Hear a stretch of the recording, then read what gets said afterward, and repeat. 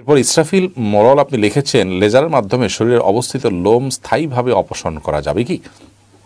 লেজারের মাধ্যমে আপনার শরীরে যদি লোম আছে, সে লোমটা স্থায়ীভাবে যদি আপনি অপারেশন করেন, তো সেক্ষেত্রে আপনার স্বাস্থ্যগত দিক থেকে কোনো যদি ত্রুটি বা ভয়ের বিষয় না থাকে, তাহলে সেই ক্ষেত্রে এটি আপনার জন্য জায়েজ হতে পারে শর্ত সাপেক্ষে। নর্মালি শরীয়ত এটাকে মুন্ডন করার নির্দেশ করেছে অর্থাৎ চাষা নির্দেশ করেছে, সেটা বলা হলে। এবং আপনি যতবার এই মুন্ডন করার কাজটি করবেন, ততবার আপনি একটি সুন্না পালন করার স্বভাব পাবেন। বিধায় এটাকে বোঝা মনে করা উচিত নয় যে আমি বারবার এটি করতে হচ্ছে।